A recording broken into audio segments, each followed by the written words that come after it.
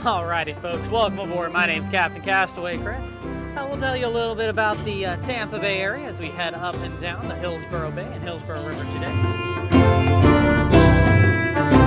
We take people from all over the place, a lot of people from here in Tampa, but a lot of people from out of town, a lot of people who just want to get a general overview of the city. We have 15 stops up and down the Hillsborough Bay and the Hillsborough River area.